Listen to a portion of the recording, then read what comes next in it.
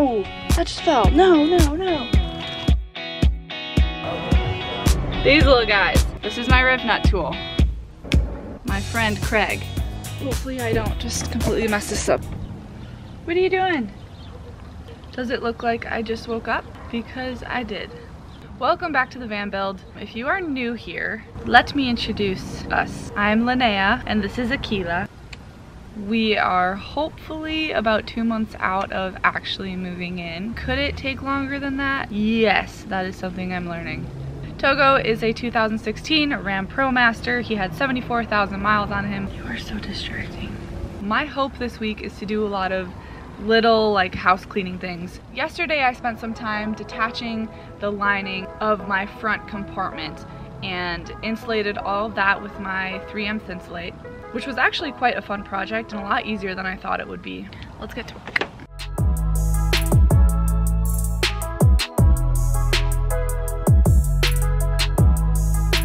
I'm done with the insulation in the back. I am now going to use this to insulate my wheel wells and the tiny little crossbeam things on my ceiling. I tried stuffing my Thinsulate in there and it was just really annoying. Wish me luck.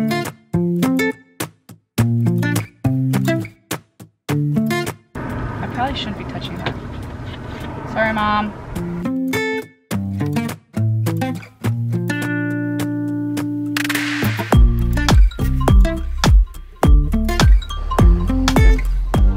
Oh, that just fell. No, no, no. Expanding and a little chunk of it that came through a hole fell. Luckily it fell on a piece of garbage.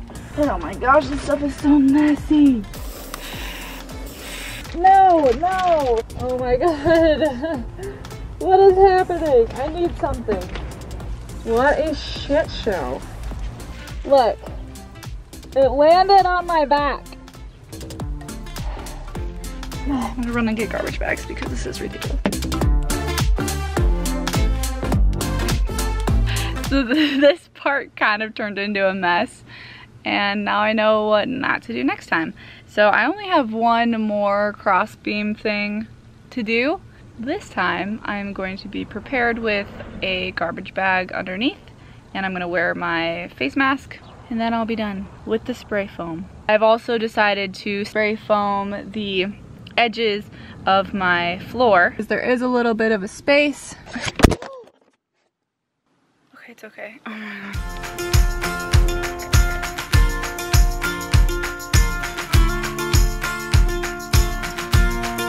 Okay, now I'm gonna do the floor.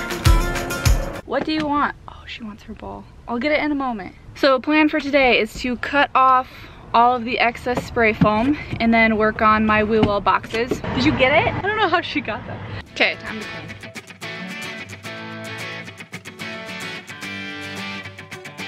First, I'm going to fill in this crack. Ideally, it'll be dry in a few hours so I can do some more work on the floor. And now, I work on cutting everything down while that dries.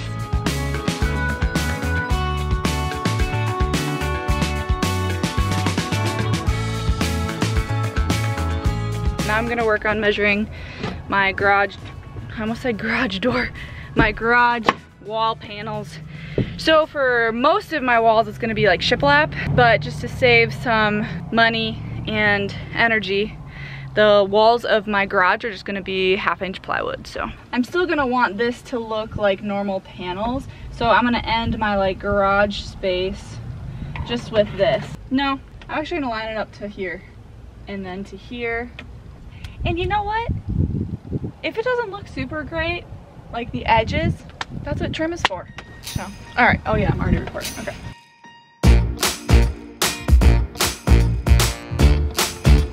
I'm not gonna explain what I did because it probably wouldn't make sense to anybody else. But it makes sense up here, so I gotta make this cut before I forget it.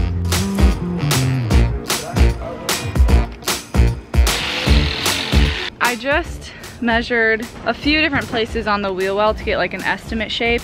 The thing is, this is gonna be covered up by some of the box for the wheel well anyway.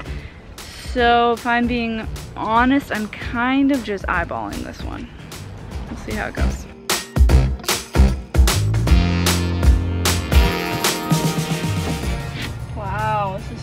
Close.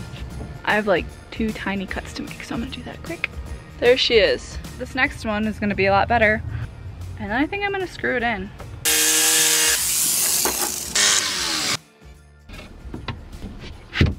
I think it looks great.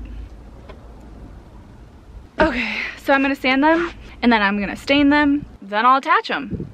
That's kind of my goal to finish off the day. Do a little sanding, do a little staining, do a little screwing. Like the boards into the walls. okay, bye.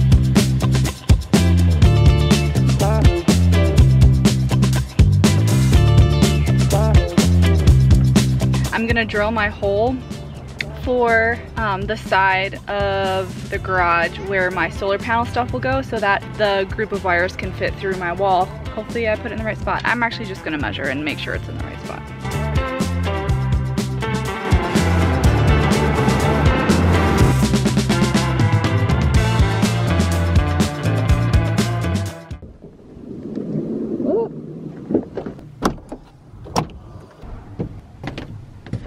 Good morning. Very skilled people watcher here.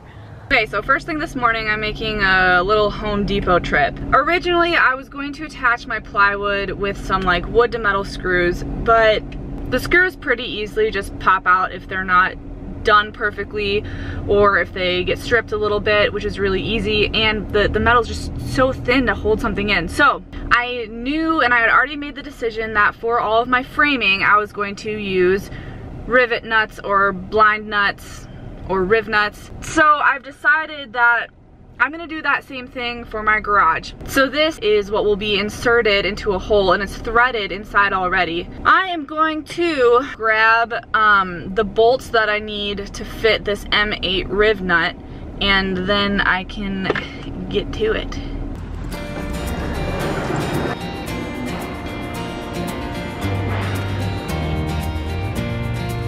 They didn't have the right size. So, off to Ace Hardware.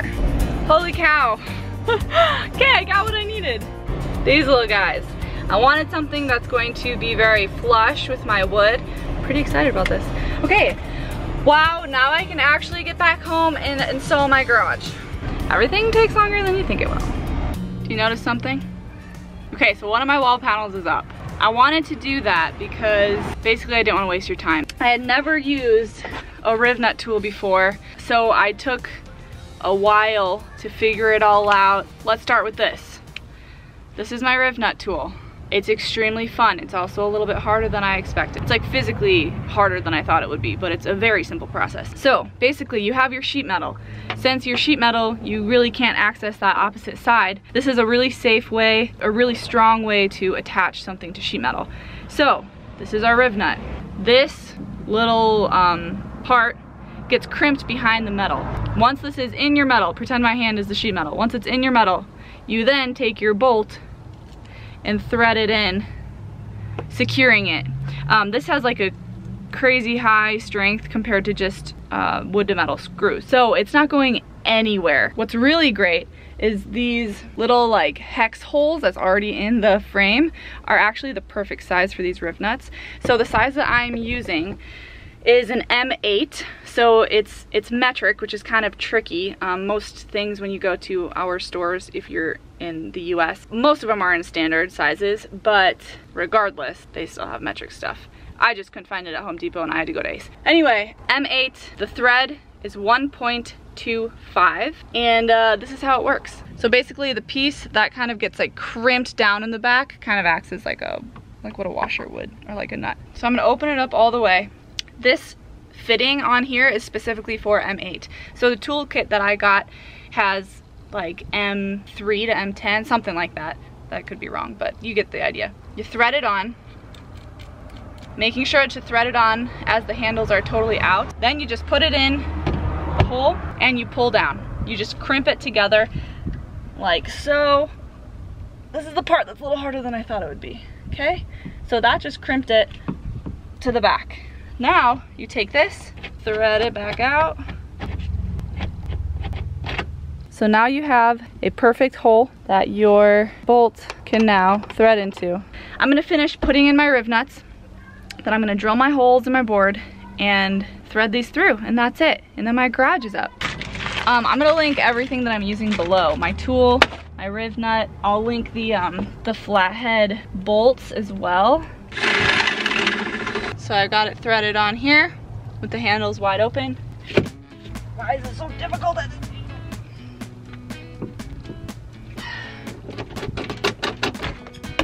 Boom. Look at that. Okay, I'm gonna drill the holes. Honestly, I've kind of just been eyeballing this one. Worked last time. I'm gonna suggest that you measure where your holes are um, and then drill the holes. I'm gonna show you what I'm using. Flat socket screw. It's an M8 1.25. I'm using 25s for the garage. That just means the length. And I ordered um, 40s for the framing since it'll be going through one by twos instead of just half inch plywood. Yeah, we good? Oh yeah. Really, impact would be nice, but this is working just fine. This is a little bit warped, so I'm gonna help it out a little bit. Come on, other way. Yeah, come on, okay.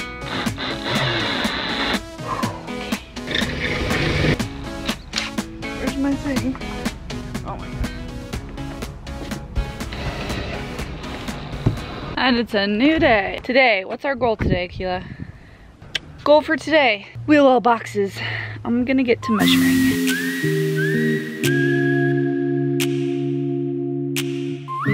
So I'll make boxes about 38 inches long, it's like 17 inches tall, and about 11 inches wide.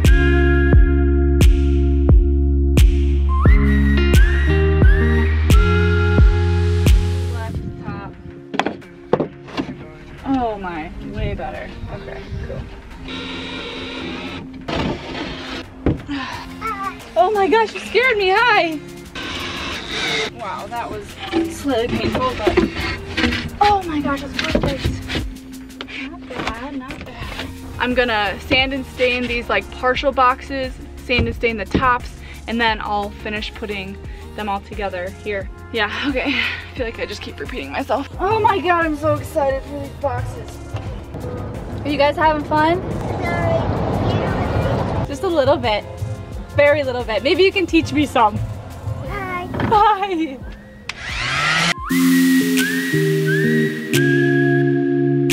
All right, on to the staining part.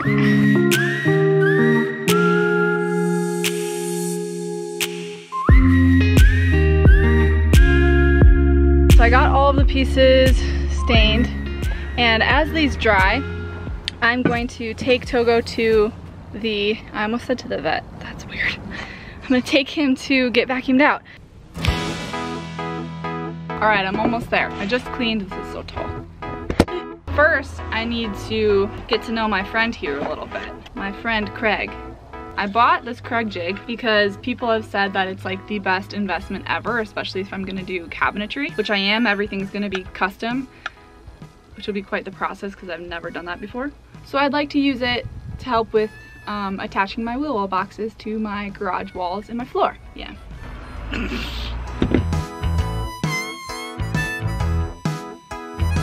so my tent broke yesterday, which is really sad because it's actually a thousand degrees out here. Oh yeah, I can. Okay.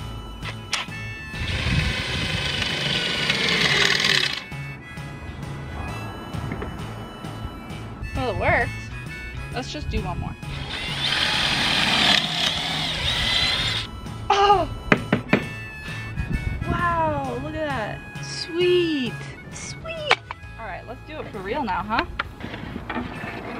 Huh? Okay.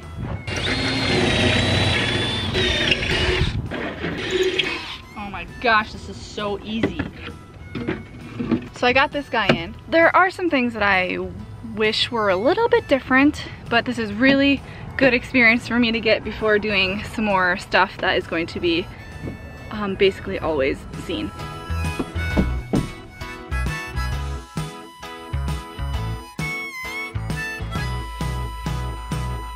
So the Kreg jig comes with a really nice long bit, which makes it very easy to get the screw where it needs to be in the pocket. I don't have any more of the screws that fit this long bit. This works, not ideal.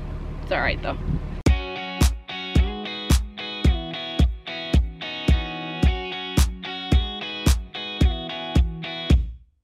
Last few little dudes.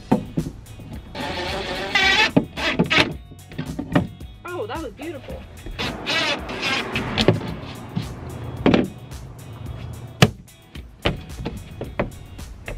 He's sturdy. Feels so freaking good. I'm done. Van build is done. And now I get to lay my floor. Yes, that bothers me. There's a little lip on the other one and it really bothers me. I honestly might take my jigsaw to it. I'm gonna do it really fast. Hopefully I don't just completely mess this up.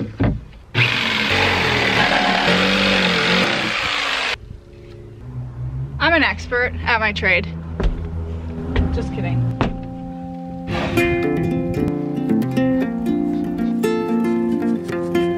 Well, my garage is done. I know that my cuts weren't perfectly straight and the boxes aren't flawless, but this process taught me how to use my riv nut tool, how to use my Kreg jig, and I learned a lot through the little mistakes that I did make. Overall, I'm super happy with it. I still love my stain as well. To all of my subscribers and followers, thank you so much for taking the time to watch these videos and root for me and cheer me on. And if you are not subscribed, make sure you hit that subscribe button, give me a like. Stay tuned for some of the next steps because it'll really start to come together, I think, I hope. My next video will be on the details of my flooring. In that same video, you will also see the changes changes that I am making to my bed frame. So I am not including price in this video just because really all I used were some stain, some screws, and some plywood. So catch the price in the next video. I will include kind of the whole garage and flooring project in that in the next um, price breakdown. Okay, I'm super stoked for my floor, so I am going to get sweeping and I will catch you in a few days.